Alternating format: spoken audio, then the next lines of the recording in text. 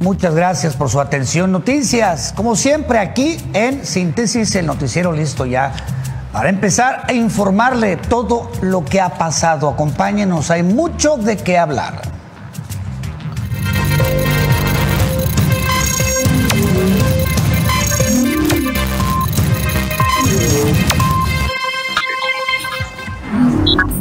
Inició la aplicación de la segunda dosis contra COVID-19 para adultos de los asilos que hay en la ciudad de Tijuana.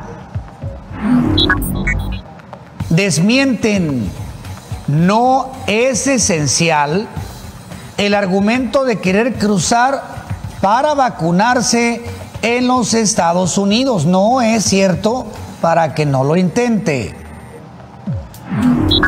Autoridades educativas se preparan para el momento en que por fin se determine el regreso a clases de forma presencial.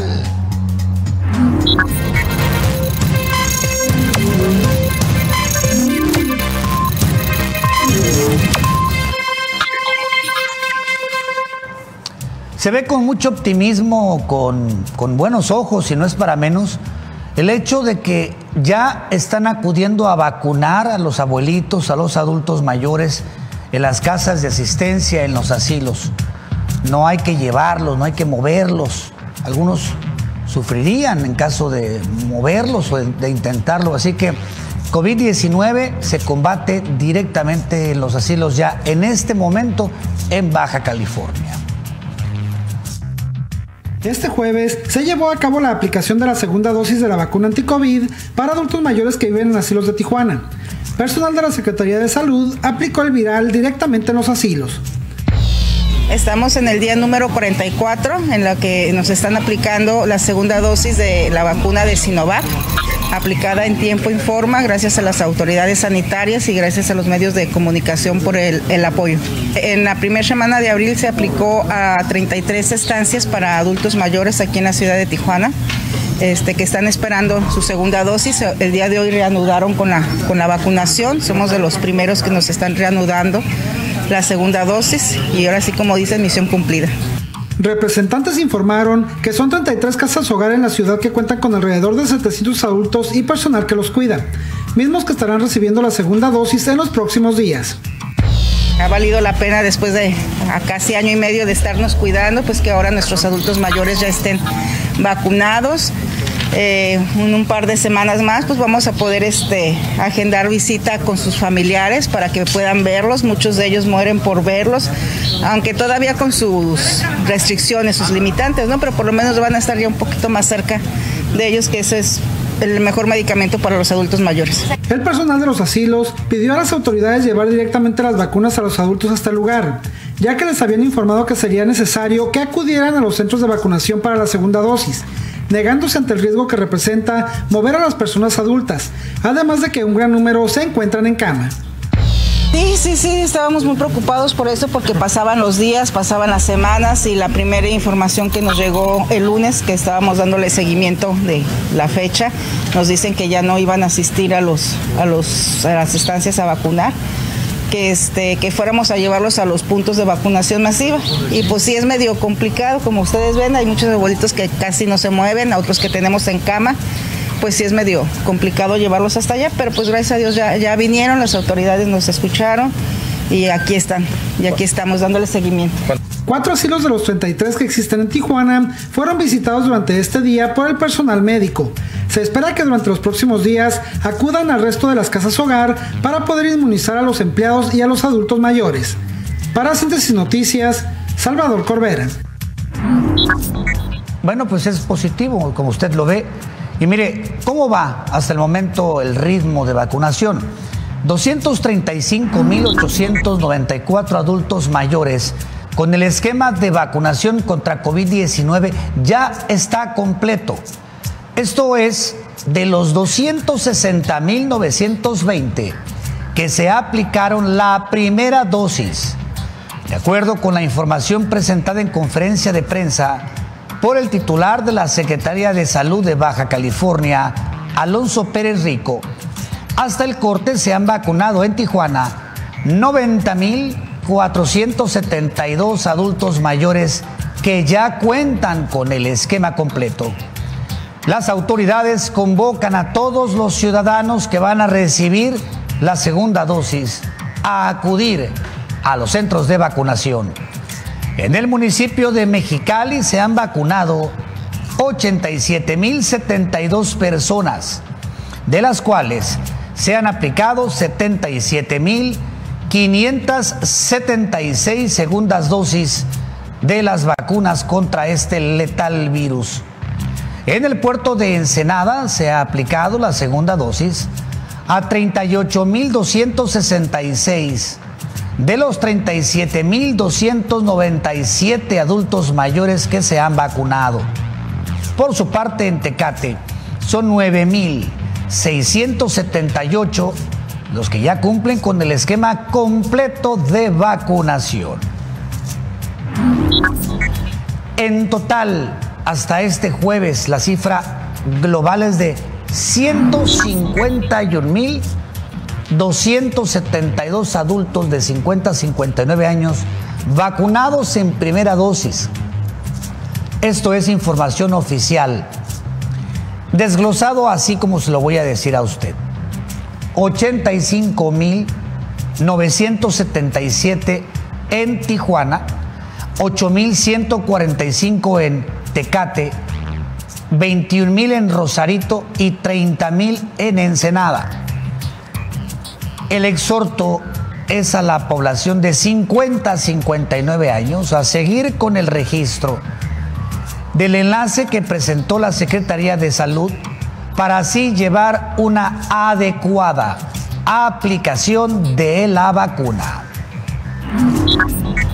El jueves 20 de mayo continuó la vacunación para los adultos de 50 a 59 años para la aplicación de la primera dosis de Pfizer, así como la segunda de Sinovac para personas de 60 y más, en los mismos tres puntos UABC Campus Otay, el Instituto de Movilidad Sustentable y la Preparatoria Federal Lázaro Cárdenas.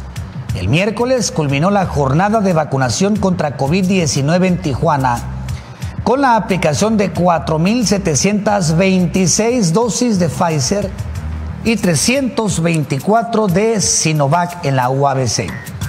En el IMOS, 2.043 dosis de Pfizer, 156 de Sinovac, 2.535 de Pfizer y 221 de Sinovac en la Preparatoria Federal Lázaro Cárdenas. 50-59 es la edad de quienes se han vacunado. Aquellos que no han ido, no dejen de ir, no extingue, no termina su derecho a hacerlo. Vayan y serán vacunados. No dejen de vacunarse. Va muy bien. Súmese a la lista de quienes ya están vacunados en Baja California. Pausa y volvemos.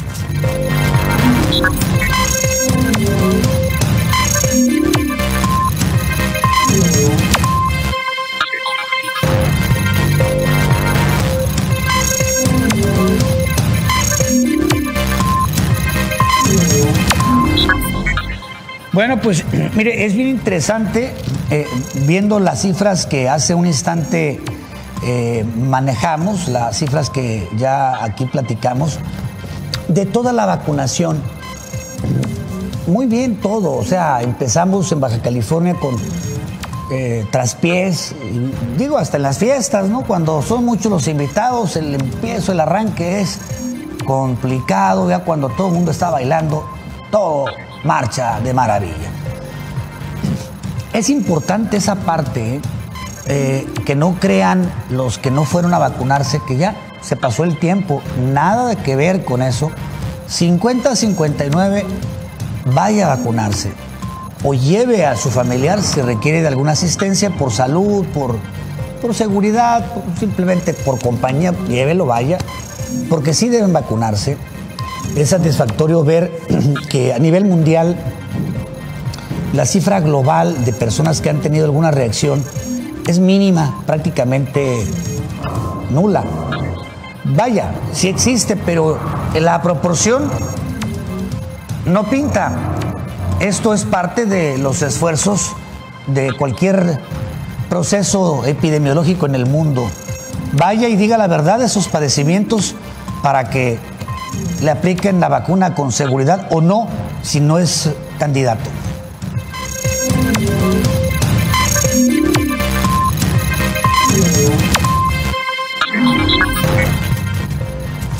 Yo quedé impactado con esta noticia. Impactado es poco. ¿Cuántas películas hemos visto sobre la vida de Ted Bundy, de Jeffrey Dahmer, del asesino del Zodiaco, del descuartizador de Boston, de Jack el Destripador, de Charles Manson? ¿Cuántas? Bueno, pues todas son una broma. Una broma. En México, un hombre de la tercera edad fue detenido. Ha confesado que a lo largo de su vida ha matado hasta donde él se acuerda a 30 mujeres. Tiene una lista escrita con los nombres y para que nos quede la sangre helada. Las autoridades han encontrado que en efecto los nombres sí corresponden a personas que en las inmediaciones de Atizapán de Zaragoza, en el Estado de México, desaparecieron sin dejar ningún rastro. Pero eso no es todo. Un equipo pericial inició la búsqueda pulgada a pulgada en la vivienda de este hombre, que a lo largo de varias décadas se dedicó a colocar capas de tierra con cemento para tapar los cuerpos que iba sepultando. Y en efecto han encontrado varios restos humanos. Se cree que sí hay elementos para pensar que en efecto la cifra de mujeres asesinadas puede llegar a 30 o más. De hecho, ya han encontrado una cantidad no vista antes para un caso así en México de huesos correspondientes a diferentes personas. Estaríamos hablando del asesino serial más prolífico que se haya visto en nuestro país y que, repito, solo en lo que respecta al número de víctimas, está dejando en el olvido las historias de terror contadas por Hollywood, por libros y documentales en todo el mundo, por la cantidad de mujeres que pudo haber asesinado. Increíblemente, sin que nadie, nadie se diera cuenta. helado. 30 mujeres. Nadie las extrañó, nadie lo detectó, a ninguna autoridad se le hizo raro. Increíble. Regresando a la localidad, Mexicali sigue siendo semáforo naranja. Si la tendencia continúa a la alza, el municipio podría regresar a color rojo en el semáforo epidemiológico que marca esta llamada nueva normalidad. A pesar de que este jueves se redujeron los casos activos de COVID-19 en Mexicali, la capital de Baja California sigue ocupando el noveno lugar entre los municipios con el mayor número de contagios en el país. Así lo dio a conocer esta mañana el secretario de Salud en el estado, durante el informe diario que rinde con respecto al estatus de la pandemia en la entidad. Mexicali amaneció hoy con 320 casos activos, mientras que en el resto del estado la cifra es de 440. Veamos Mexicali hoy con 320 casos activos, disminuyen en comparación con el día de ayer. Tijuana 102 casos activos, Ensenada 13 casos activos, sube Rosarito 5, San Felipe 2, Tecate 2 y San Quintín 0. Casos activos en el estado 444 nuevamente, pero lo importante es que Mexicali disminuye su número de casos activos. En su reporte, el secretario de Salud informó que debido a que Mexicali sigue liderando al Estado en todos los indicadores importantes en relación a contagios, el semáforo epidemiológico en el municipio se mantendrá en naranja, mientras que en el resto del Estado seguirá en amarillo. Mexicali la está perdiendo y la está perdiendo para el Estado. Entonces, el escenario aquí lo que tenemos es que derivado de estos tres indicadores, los casos activos precisamente registrados en Mexicali, que siguen siendo los más numerosos de los municipios, derivado de su incidencia, que está cerca de 30 por 100 mil habitantes, que triplica, si no es que cuatriplica otros municipios y derivado de su tasa de reproducción efectiva, Mexicali y Baja California continúan en semáforo naranja con todas las restricciones que a la fecha tienen. Alonso Pérez Rico advirtió que si la situación en Mexicali no mejora y se mantiene una tendencia al alza en el número de nuevos contagios, no tendrán otra opción más que regresar a semáforo rojo. Por eso es necesario que los cachanillas no bajen la guardia y apliquen las medidas y protocolos sanitarios que se han venido recomendando durante el último año cómprenos el tiempo para vacunar a la más cantidad posible de personas. Es muy importante que Mexicali entienda lo siguiente. Todos los días vamos a estar monitorizando los métricos. Si se empieza a elevar una tendencia de 3 a 5 días, van a cambiar su coloración. En Mexicali con edición de Fernanda Mesa, reportó Heriberto Reyes. Estar informado en síntesis. En Mexicali hay la mayor tasa de transmisión y esto genera el riesgo de cambiar a color rojo en el semáforo. 320 casos activos son muchos más de los que tiene Tijuana, que alcanza 102. 11 en Senada, 6 en Rosarito y 3 en San Felipe. Tecate y San Quintín también 3, muy tranquilos. Mexicali es el punto. En las últimas 24 horas han fallecido seis personas por COVID. Hoy la cifra ya es de 8.081 defunciones. Ponga mucha atención, esto es bien importante. Estados Unidos ha confirmado que hasta el 21 de junio será posible cruzar a viajes no esenciales. Ojo, es falso que personas que vivan en México pueden llegar a la frontera para decir que quieren vacunarse y con ello hacer esencial su cruce a los Estados Unidos. Es falso. Le vamos a dar más detalles.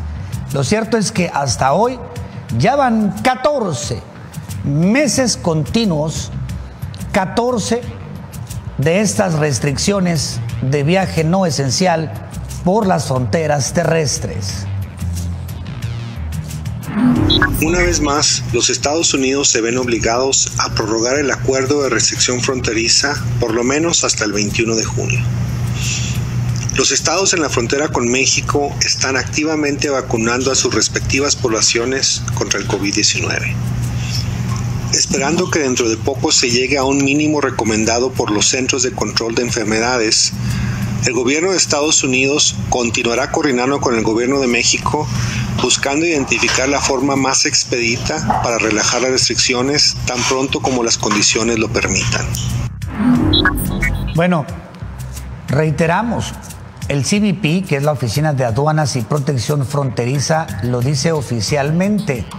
No intente cruzar. Y tampoco es cierto que si usted lo hace o lo trata de hacer con el argumento de que su cruce es esencial, se lo van a permitir. Es falso. Así que Si los americanos lo hacen, pues lo tienen que hacer porque es su derecho, al igual que los emigrados o residentes permanentes. Turistas no tienen derecho de cruzar a vacunarse, mucho menos llegar con descaro a decir en la garita que eso pretenden. Por ahí se han publicado versiones que así lo apuntan. Falso de toda falsedad. Considérelo porque de lo contrario estaría en riesgo hasta de perder la visa o mínimo sufrir una amonestación. Vamos a una breve pausa y volvemos con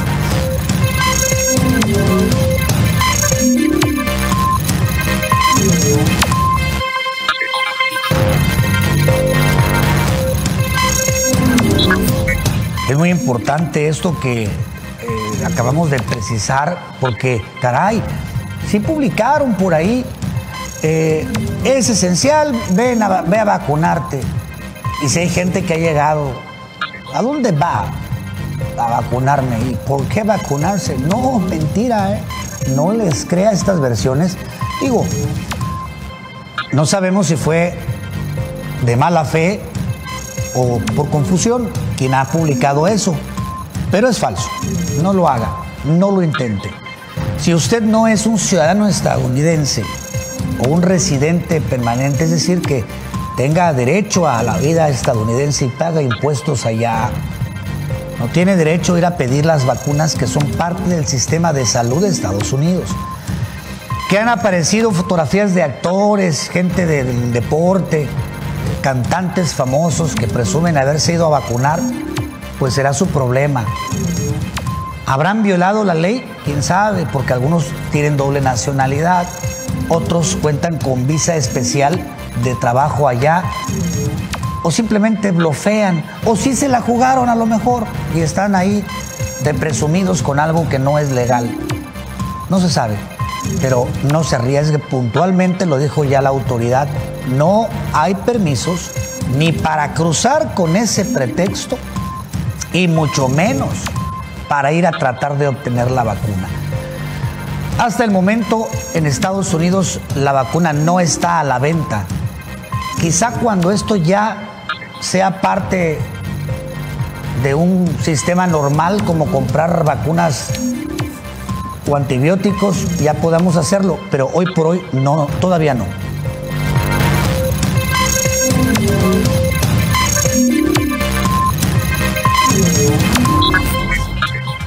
Vea usted, ay Dios mío, este niño da una demostración de tener en sus pies esta cosa con la que nacen algunos seres humanos, la habilidad y el talento. No me diga que no lo intentó, ¿eh? no me diga que fue una casualidad. Clarito se ve cómo le mete la parte externa del pie en diagonal, cacheteando la pelota para buscar esa comba sin ángulo. Ahí está el Mbappé del futuro, seguramente.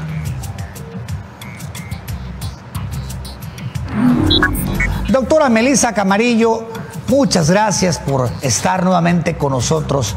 Esfera médica con estos sistemas avanzados de diagnóstico ruso que han sido el fin del sufrimiento para muchas personas. A ver, platíquenos, qué sorpresa. Menopausia, osteoporosis, además del dolor y problemas emocionales, sobre todo en las mujeres por la actividad hormonal y el proceso cronológico. Es algo que también con ustedes tiene un avanzado rango de éxito en su tratamiento. Platíquenos porque sin duda habrá muchos en el auditorio que digan, ahí tengo que ir yo a tratarme. Buenas noches. Sí, claro que sí, Alfredo. Buenas noches. Pues muchas gracias por el espacio nuevamente. Y sí, como bien dices, este tiempo cronológico que nos alcanza y a las mujeres y también a los hombres, pero ahorita en particular que estamos hablando de la menopausia, pues la menopausia es justamente esa transición entre que la mujer deja de tener el periodo menstrual por más de un año, que ya se considera menopausia, y con esto vienen todos los síntomas que son muy molestos para nuestras mujeres, que son los bochornos, el insomnio, que tenemos caída de cabello, disminución del líbido, del apetito sexual, resequedad vaginal, y con ello viene la depresión, vienen temas emocionales, por eso quisimos incluirlos también en este tema, porque es un síndrome donde efectivamente son muchos los síntomas y diferentes que puede presentar la paciente. No tienen que ser todos, porque cada mujer lo va a manifestar de forma diferente, pero justamente los sistemas rusos vienen a apoyar, a ser de gran apoyo en este tipo de pacientes que llevan años a lo mejor padeciendo la menopausia y no se les quita esos síntomas, que pensaron que tal vez iba a ser un, año o dos años con los síntomas y qué pasa que a través del tiempo se está volviendo cada vez más crónico y lo que parecía un ciclo de, de cierre normal en la, en la mujer, pues se vuelve un ciclo patológico y se vuelve un ciclo bastante molesto, ¿no? Entonces, pues que sepan que ya sin necesidad de hormonas, sin necesidad de químicos, sin necesidad de terapias sustitutivas, eh, pueden tener cambios ya a normalizar nuevamente su organismo, sus hormonas, para que nuevamente vuelvan a vivir su vida a como estaban antes de, de este ciclo que es la menopausia, porque ahora, hoy en día, pues los sistemas rusos avanzados, la tecnología, médica es lo que nos permite, Alfredo. Oiga, em, aquí lo que me llama mucho la atención es cuando hablan de problemas emocionales y para quienes no somos médicos eh, nos sorprende que, bueno, a ver, ¿qué tiene que eh, de relación eh, un asunto emocional con sistemas de detección para dolor y para irregularidades en nuestros, en nuestros órganos, en nuestro cuerpo? Eh, a ver, explíquenos porque nos causa una grata sorpresa, pero también curiosidad. Claro, pues en la medicina existe una ciencia que se llama psiconeuroendocrino-inmunología.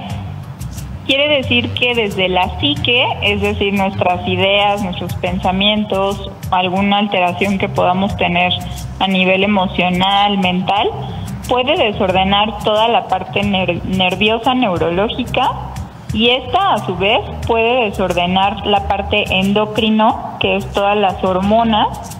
En el tema de la menopausia eso sucede muy común y puede desordenar toda la parte eh, inmunológica.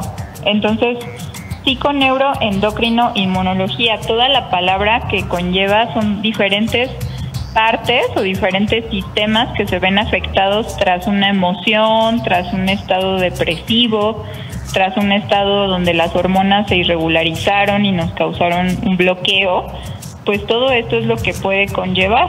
Entonces, en tema de la menopausia que hoy nos compete hablar de esto, pues justamente la mujer eso es lo que tiene, porque empieza, imagínate, es un estado donde ya no eres fértil para empezar, ya se acabó tu vida, bueno, así lo ven algunas mujeres, ya se acabó tu vida fértil, ya no puedes tener más hijos, ya se acabó la, el propósito de, del útero, en este caso, ¿no? Entonces viene una depresión que a veces es inconsciente.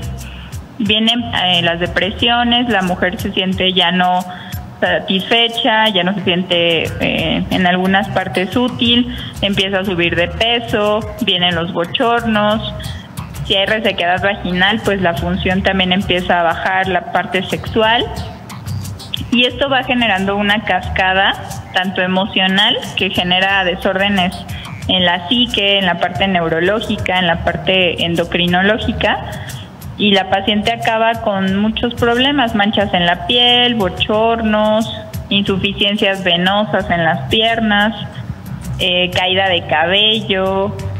Entonces es bien importante este padecimiento para la mujer, Alfredo, porque se acostumbran a vivir con estos padecimientos y muchas veces el tratamiento sustitutivo hormonal pues no es para todas las mujeres o no se recomienda o simplemente esa mujer no quiere usar hormonas porque le parece muy agresivo para su organismo. Entonces, yo creo que ahí es donde los sistemas rusos nos vienen a hacer de gran apoyo para identificar de todo esto qué es lo que está bloqueado en esa mujer y a partir de ello corregirlo, darle un tratamiento sin hormonas que sea totalmente eh, no invasivo para la mujer y al cabo de seis semanas, ocho semanas, se vuelve a, normalizar y a regularizar su ciclo, incluyendo pues temas depresivos, temas de emocionales, ¿no? Extraordinario, asombroso. Bueno, muchas gracias por explicarnos. El teléfono se ha puesto en pantalla. Esfera Médica se encuentra ubicado en Tijuana, en la zona Río, en un centro médico. Haga su cita y, eh, como nos han platicado antes, desde el momento en que se lleva a cabo el sistema de diagnóstico, ya es posible iniciar un plan de tratamiento que no riñe con lo que usted hoy esté llevando a cabo. Lo puede llevar de forma paralela y medir pronto los resultados. Doctora eh, Melissa Camarillo, muchas gracias al equipo de Esfera Médica. Muchas gracias Alfredo, a toda tu querida audiencia, les mandamos un afectuoso saludo y solo recordando que este mes todavía por apoyo al mes de la mamá, de la madre, para todas nuestras mujeres tenemos un 20% de apoyo en lo que es su consulta, su investigación y su eh, diagnóstico. Excelente, 20% otorga la Fundación Esfera Médica. Gracias y buenas noches. Gracias, Alfredo. Buenas noches. Vamos a una pausa. Tenemos más en síntesis.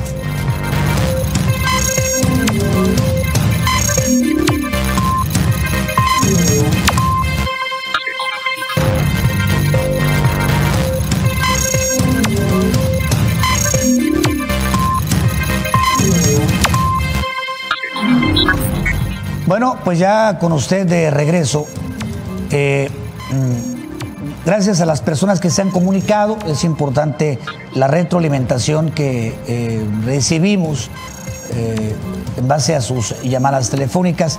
Hay muchos comentarios y muchas preguntas de la comunidad sobre el caso de Nailea, la mexicana tijuanense, la joven residente de la frontera que eh, conduciendo en aparente estado de ebriedad provocó la muerte de dos personas y lesiones en tres niños que están muy, muy delicados en los Estados Unidos. Bueno, hasta el momento la situación es que eh, ella permanece detenida. El domingo es eh, un momento importante el domingo es cuando se va a llevar a cabo la audiencia de vinculación. Y ahí, ¿qué procede? Bueno, pues el juez va a determinar si en efecto eh, ella se queda para enfrentar el proceso detenida o su delito por el que la acusan se reclasifica y demostrando tener arraigo en Tijuana, que vive aquí, si se reclasifica podría alcanzar libertad bajo fianza. Es interesante, estaremos al pendiente para informarle a usted.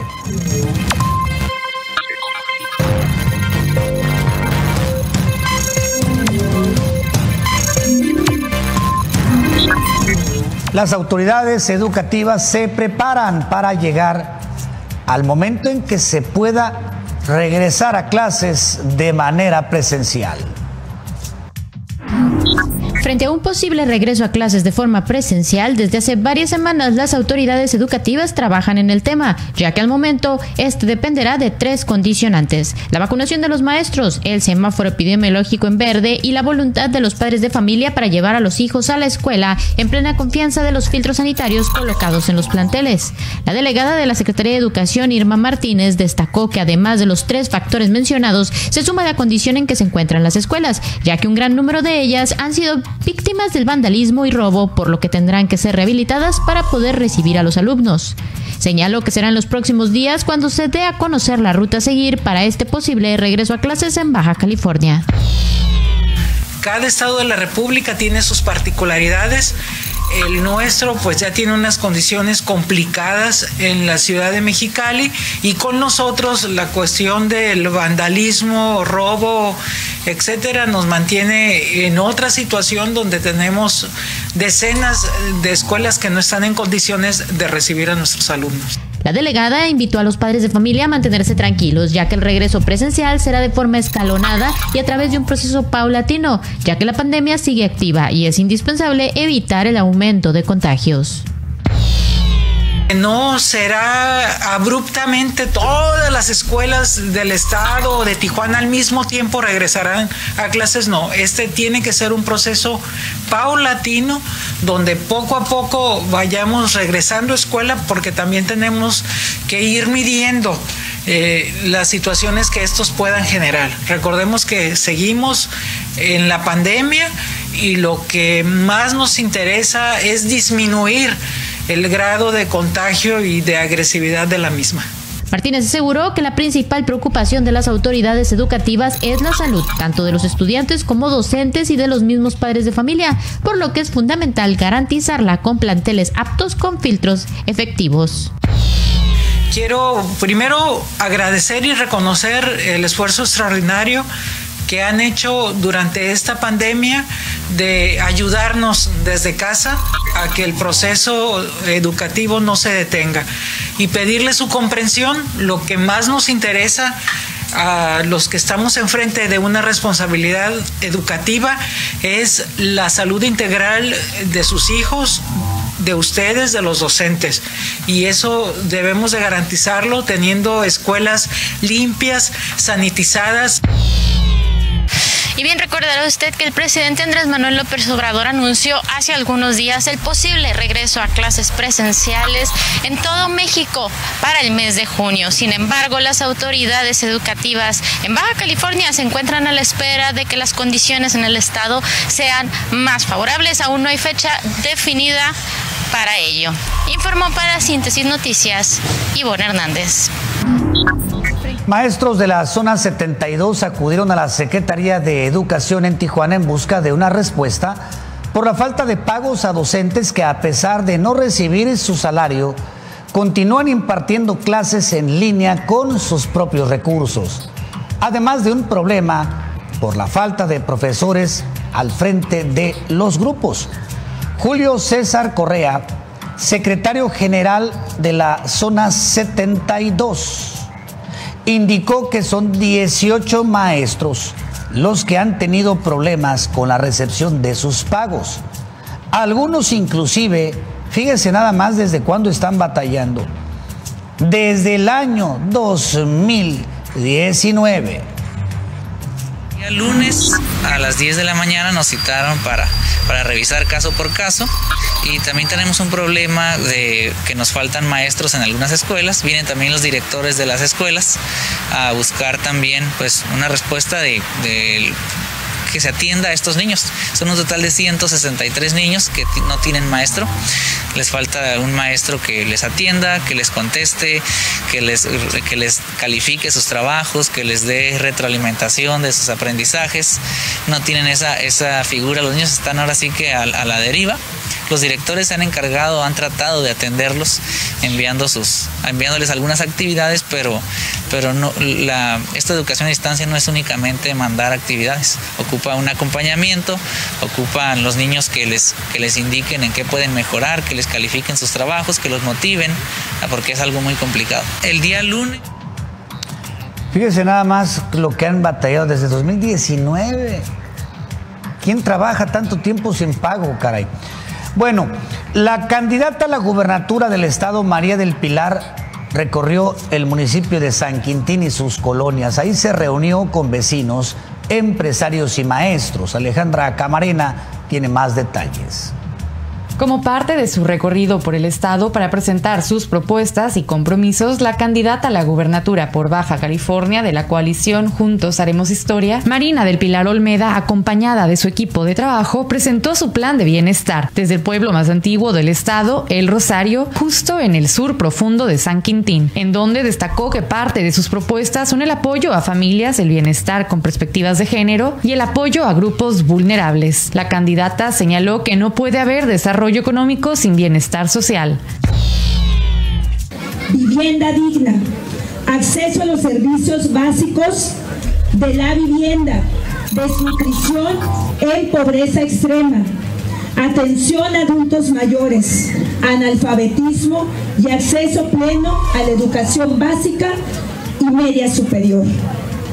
Debemos combatir las desigualdades y corregir las prácticas discriminatorias que obstaculizan el acceso a una vida digna de las personas que más lo necesitan, con un enfoque intercultural y con perspectiva de género, con énfasis en nuestras niñas, niños, adolescentes, jóvenes, personas adultas, mayores, personas adultas mayores, personas con discapacidad, mujeres y hombres, migrantes, refugiados, campesinos, pueblos originarios, población afroamericana y la población LGBTTI. Como parte de su recorrido, visitó Vicente Guerrero en el municipio de San Quintín, en donde se reunió con el Consejo Agrícola de Baja California, lugar en el que los miembros del Consejo le externaron sus preocupaciones de agua potable y salud, en el que destacó la falta de un hospital general en el municipio, ya que el más cercano se encuentra a dos horas de distancia. El otro tema en San Quintín es la falta de agua. La falta de agua es histórico en San Quintín y ha limitado el crecimiento tanto productivo como de las comunidades. El abandono, y sobre todo en esta zona, el abandono es, discúlpeme la palabra, pero es brutal. Tenemos más de 30 años de abandono. Entiendo que el nuevo gobierno tiene menos de año y medio y que es complicado resolverlo en ese tiempo, pero la verdad es que en esta zona ni siquiera le han hecho el intento. Es decir, hay un abandono en los servicios públicos terrible. Un ejemplo es césped y le voy a dar un ejemplo de... Nosotros detectado, pues es justamente el tema del drenaje, del agua y las desaladoras que, que urgen. Entendemos la importancia de traer agua para el desarrollo y para la productividad de la zona.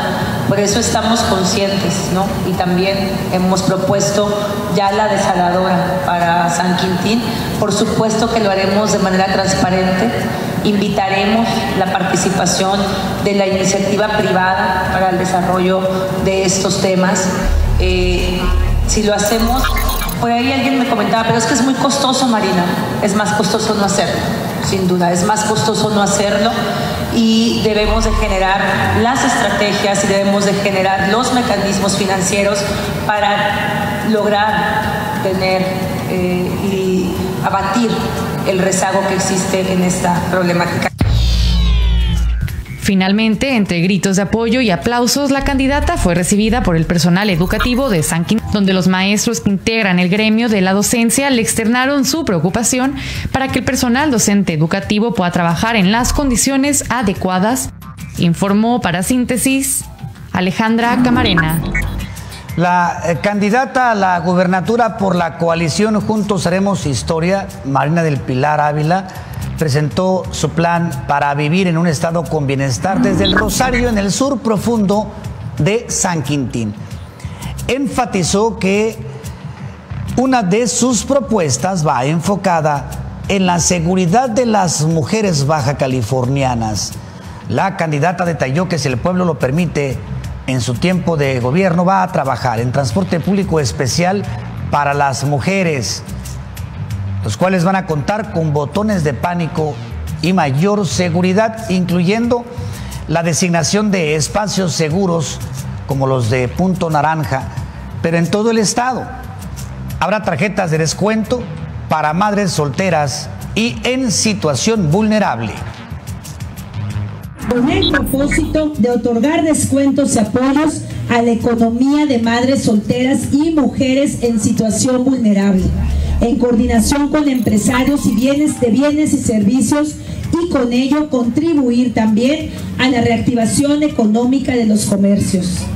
Además impulsaremos el sistema integral de movilidad para mujeres, la línea violeta, seguro y libre de violencia, con unidades que cuenten con personal capacitado y equipadas con videocámaras de vigilancia, así como botones de pánico enlazados con los C4 y C5. Para abatir la violencia contra las mujeres y en coordinación con los ayuntamientos del Estado estableceremos la red estatal de refugios para mujeres, hijas e hijos víctimas de violencia. Espacios seguros y anónimos para la atención integral de las familias. La candidata por la gobernatura de Baja California, Marina del Pilar, se reunió con el Consejo Agrícola del Estado en las instalaciones del Expo Fresh Growers ubicadas en Vicente Guerrero, en donde se llevaron a cabo los diálogos por el campo en Baja California. Durante la presentación, los miembros del Consejo le externaron su preocupación a la candidata ante la falta de un hospital general en el municipio y detallaron que el más cercano se ubica a dos horas de distancia. Por ello, se hace la petición de construir uno más en el municipio. La candidata respondió que esta es una de sus propuestas compromiso para la campaña. Tendrán el hospital tal como lo solicitaron. En materia de salud, sin duda coincidimos en eso. Nosotros los empresarios, los productores de San Quintín tienen una gran responsabilidad social y piensan primero en la calidad de vida de los habitantes de esta zona y en la necesidad de la atención a servicios básicos, ¿no? como es el de salud. Hay un, hay un proyecto ya de 520 millones de pesos para el Hospital General en esta zona del Estado. Entiendo también que el licenciado Armando Ayala ya hay una inversión y un proyecto para, para San Quintín en materia hospitalaria, de infraestructura hospitalaria, que le seguiremos dando impulso porque pues durante los próximos tres años todavía trabajaremos en coordinación por esta zona. Armando y yo eh, quiero que sepan y darles la garantía que es, es una zona en el Estado que quiero, que queremos aportarle, que queremos apoyar. Es la segunda de la... Momento de una breve pausa. Volvemos con más.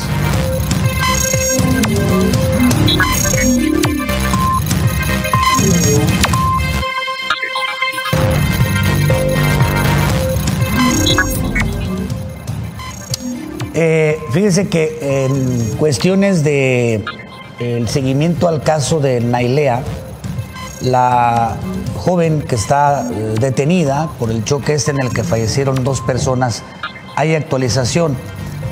Un dato que le puedo decir es que eh, la niña, una de las niñas, porque son tres los heridos, por las quemaduras fueron llevados a Estados Unidos y una de las niñas se encuentra muy grave reportan su estado muy grave por las quemaduras que sufrió. Es que chocó la joven Ailea el auto de la familia que estaba esperando eh, cruzar, estaba en la fila para la garita y estaban ellos ahí esperando y llegó ella con todo. El choque provoca un incendio, se quema el chofer, eh, se quema la esposa la abuelita de los niños alcanza a salir con lesiones no graves y saca a los niños. Sin embargo, los niños ya se habían quemado. Sobreviven, pero las quemaduras fueron graves, especialmente, repito, en el caso de una chiquita, una de las, de las niñas. Y además se ha informado que no se le otorgó el perdón jurídicamente hablando de parte de los familiares. Ya oficialmente la familia negó el perdón a Ana y Lea. Ese paso es importante porque eh, los elementos del juicio implican resarcir el daño. Si ellos dicen que no lo perdonan, no están resarcidos.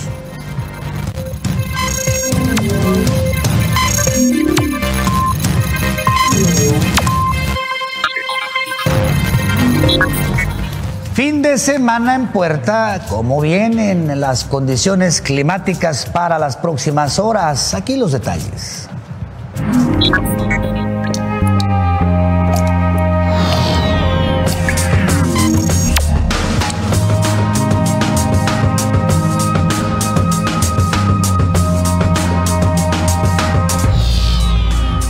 Municipio de Tijuana, este viernes se pronostican máximas de 19 y mínimas de 12 grados con cielo nublado. El sábado se contemplan altas de 19 y bajas de 12 con cielo parcialmente nublado, mientras que el domingo habrá cielo despejado con máximas de 20 y mínimas de 10.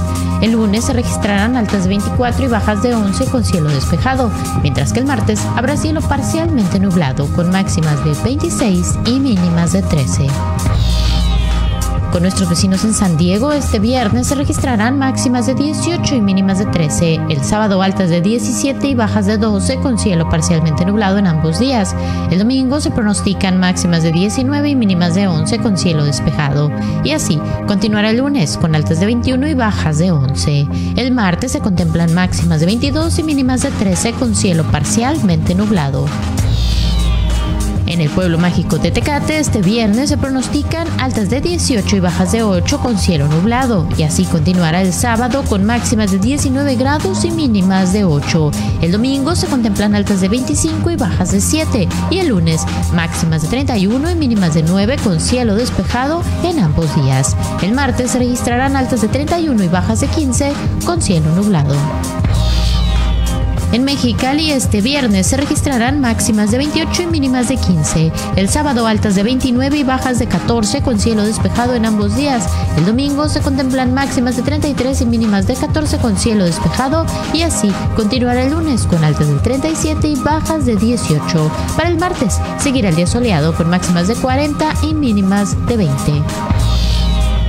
En playas de Rosarito este viernes se pronostican altas de 16 y bajas de 13 con cielo nublado. El sábado se registrarán máximas de 16 y mínimas de 13 con cielo parcialmente nublado, mientras que el domingo habrá cielo despejado con altas de 16 y bajas de 12. El lunes seguirá el día soleado con máximas de 18 y mínimas de 12, mientras que el martes habrá cielo parcialmente nublado con altas de 19 y bajas de 14.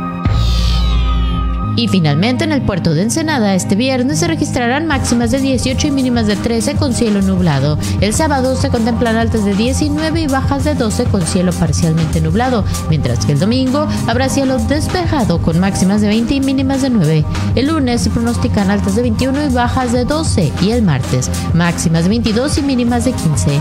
En ambos días se pronostica cielo parcialmente nublado.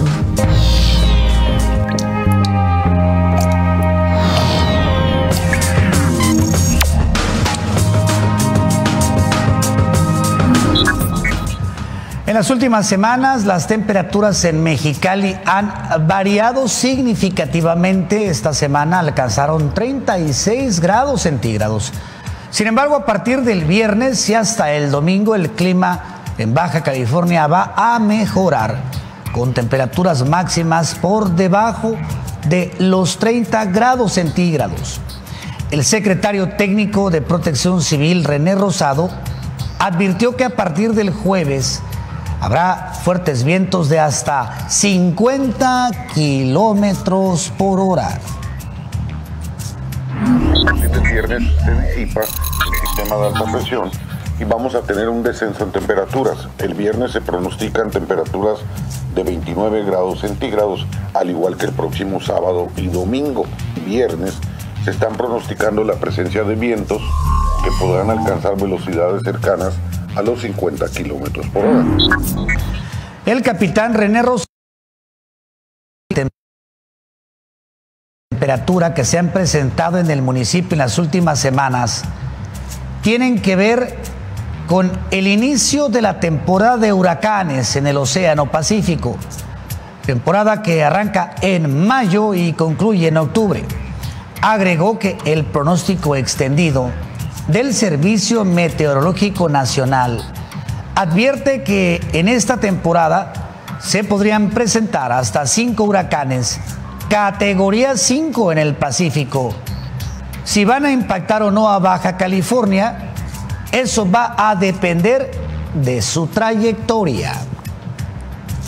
Estos cambios climáticos se están presentando debido a que hace dos semanas inicia en el Pacífico la temporada de huracanes. Hay que considerar que ya es época de lluvias en el centro del país y en la región de nosotros típicamente se presentan estos cambios. Pueden llegar a presentarse en el Pacífico al menos cinco huracanes categoría 5, por lo menos eh, número de 16 a 22 depresiones tropicales. Y en el caso particular de Baja California, bueno, será dependiendo las trayectorias que ellos tomen. Pausa, es breve, ya volvemos.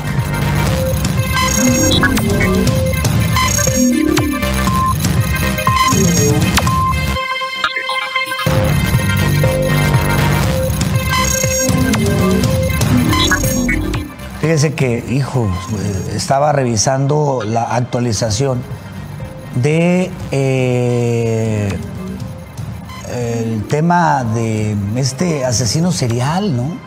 Uf, de este asesino serial de Atizapán. Le comento esto porque ha salido más información en este momento.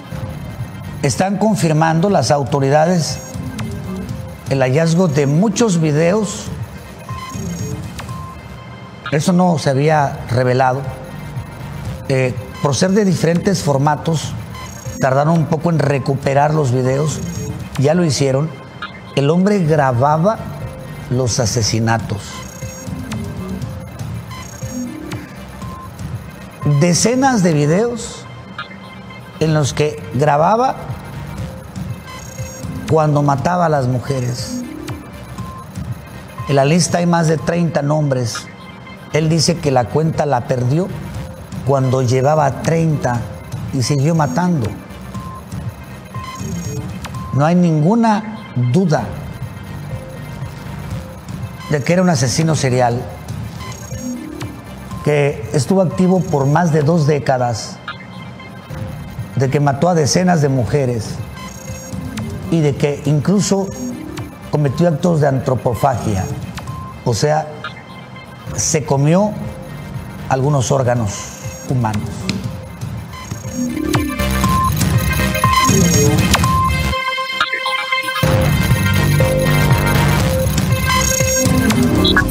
La información de México y el mundo en síntesis.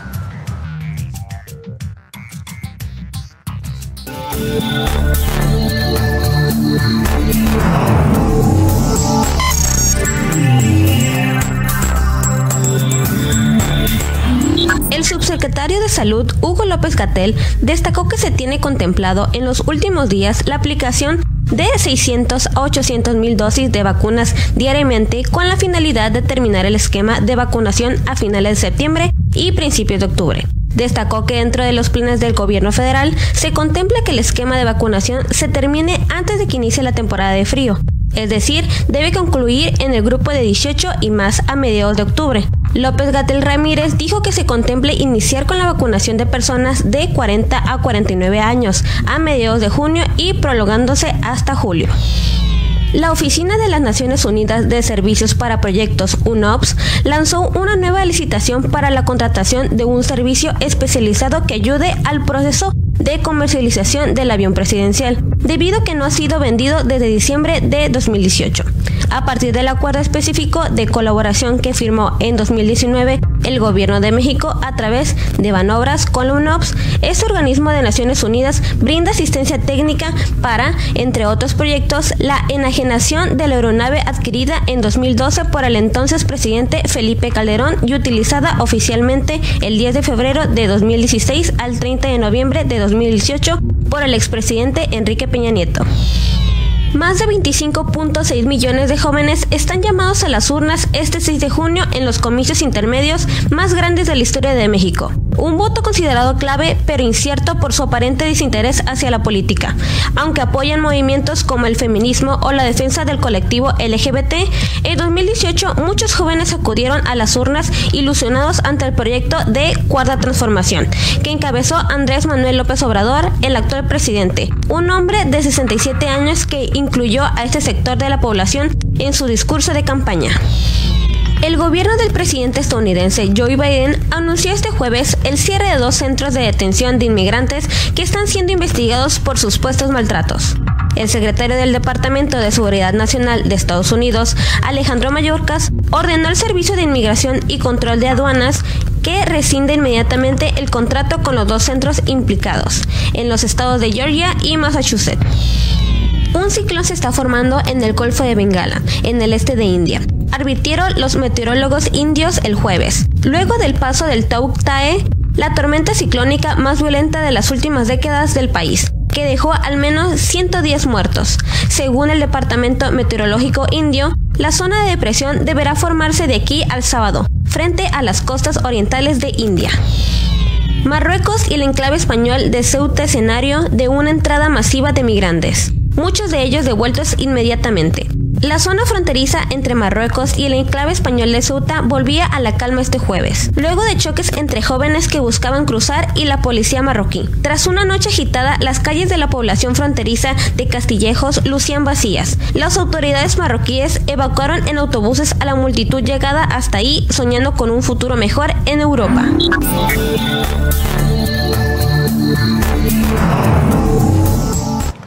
Gracias.